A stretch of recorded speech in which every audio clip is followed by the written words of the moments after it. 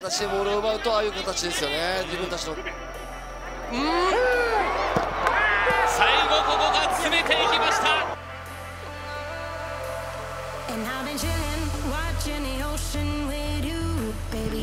もうニアにバウンドさせるさせるようなボールです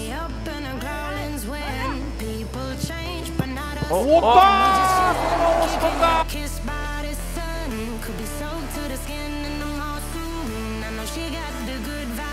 になります。はい流れていった安藤スルーパス。安藤来た。安藤スループシュート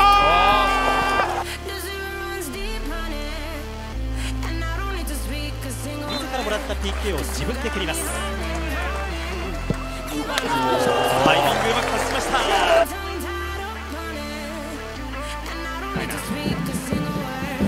クロスを入れてくる。シュート決まりました。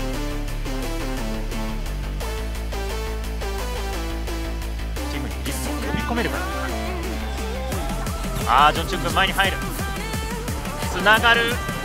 シュート打って先制町田